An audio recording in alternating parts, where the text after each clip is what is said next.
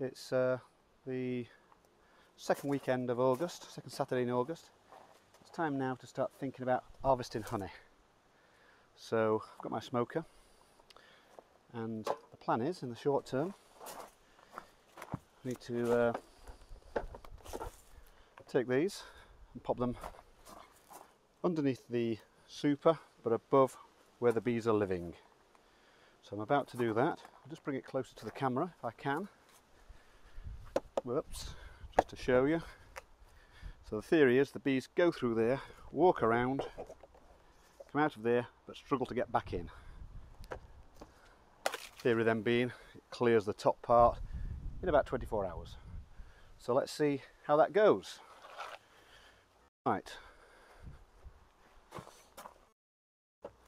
First job, get the smoker out, give it a toot underneath, just to warn that we're coming.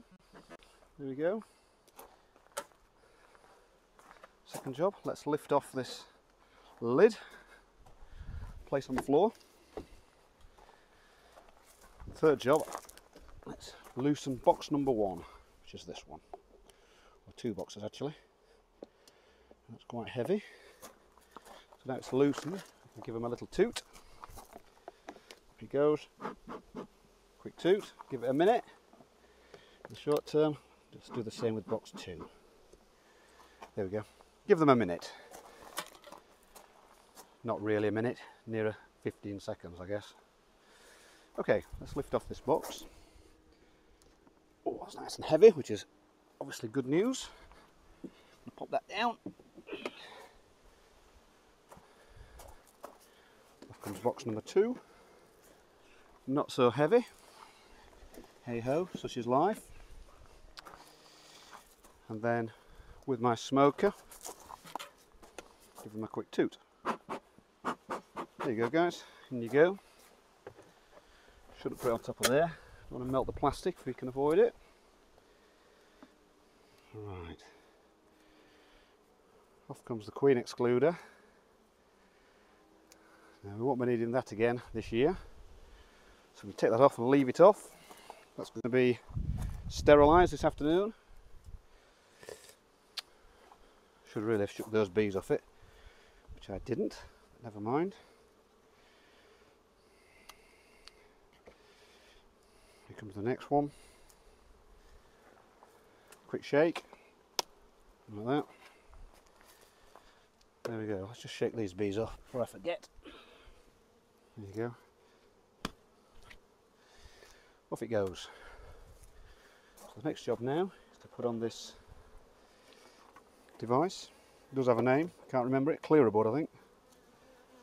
That's one of them. That's two. And then back on with the honey boxes. In the same order they came off. They're not mission critical, admittedly. One. And two. This is the heavy one. There we go. Just give the ones in between a little chance to escape. There we go. Just going to repeat exactly the same now with this hive. That's an in-hive thermometer. Might rest that and give that a clean before we lift these ones off. Here we go. So again, quick toot. And it's made alongside it slightly heavier. Oh, much heavier in fact. There we go. Right, off with number four. It's got a little bit of weight to it. I'd say that's probably hmm, maybe a third full. So four or five pounds in there maybe. This one much fuller. Oh yeah, probably 12, 13 pounds in that one, I'm guessing. Might be an exaggeration. Right, everyone's nice and calm again. Same deal.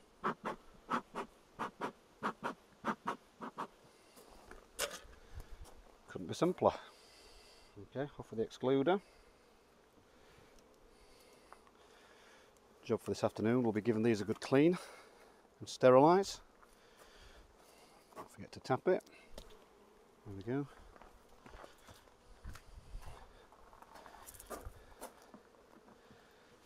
That's the next one. Same deal. Give it a tap. Job done. Right. Quick toot again.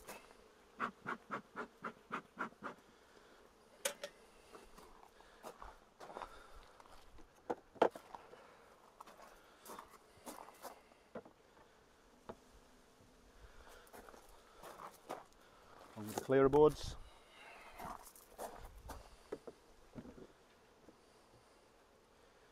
There we go. And then back on with the boxes. Uh, number three first. Here it is. Oh, that's heavy. It's looking great. Oh, it is heavy as well. That's pretty full, I would say.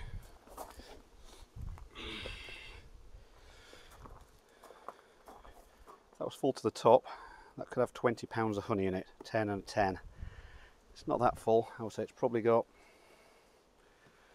well, 12, 13 pounds in there. Difficult to tell. This was far less. Um, but still, there it is. That was a quick job. I think everyone can appreciate that.